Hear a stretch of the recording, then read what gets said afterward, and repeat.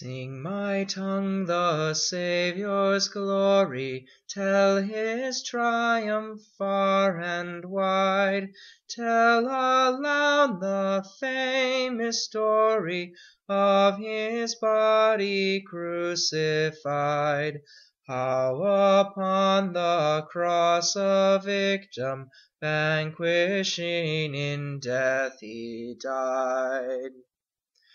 Eating of the tree forbidden, Man had sunk in Satan's snare, When our pitying Creator Did this second tree prepare, Destined many ages later That first evil to repair.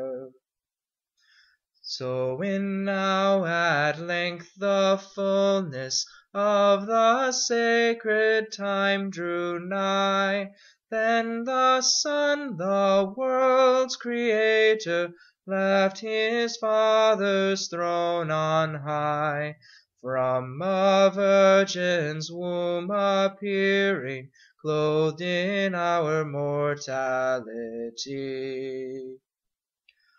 All within a lowly manger, Lo, a tender babe he lies; See his gentle Virgin Mother Lull to sleep his infant cries, While the limbs of God incarnate Round with swathing bands she ties. Thus did Christ to perfect manhood In our mortal flesh attain; Then of His free choice He goeth To a death of bitter pain, As a lamb upon the altar Of the cross for us is slain.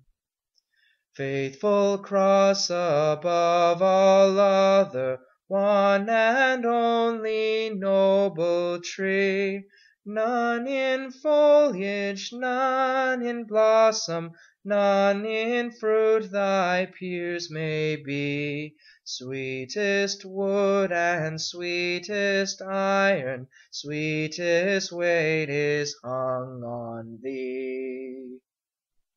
Lofty tree, bend down thy branches To embrace thy sacred load; Oh, relax the native tension Of that all too rigid wood; Gently, gently bear the members Of thy dying King and God.